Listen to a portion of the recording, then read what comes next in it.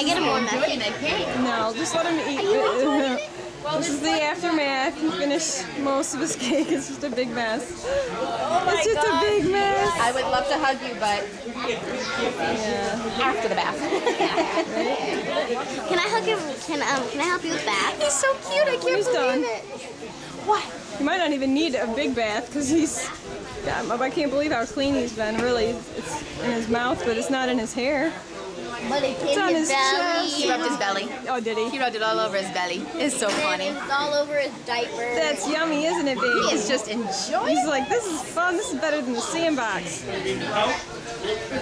something bad over your boob. Boob. Oh, now he's dropping it on the thing.